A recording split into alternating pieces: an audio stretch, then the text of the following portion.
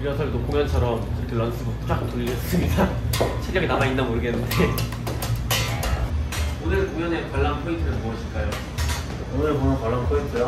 어, 오늘 관람 포인트는 일단 곡이 한 곡 한 곡 지나갈수록 땀에 쩔어가는 일단 오. 멤버들의 모습들과 여름 분위기 나게. 네, 여름 분위기 쫙쫙 나고 어, 또 싸이언이 또 땀으로 또 쩔면 또 살짝 또 그 진짜 또 바이킹 특유의 그 그, 그 전사의 로본이 깨어나거든요. 그 깨어나는 순간이 근데 참 포착하기가 힘든데 저는 과자들이라는 그 순간을 포착할 수 있으려 믿습니다.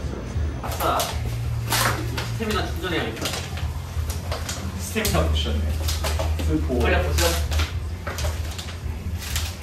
하나, 둘, 셋. 네, 1분 남았습니다. 자, 이 세상 모든 이 세상 모든 말 못하고 끌끌 끙끙 앓는 니코키들을 위한 공연은 Speak Out. 오늘도 여전히 우리는 Loud, Hot, Crazy, the best voice of rock and roll. Crack shot, yeah, yeah, yeah. 아, 되게 재밌었네. 좋았어요? 락앤롤.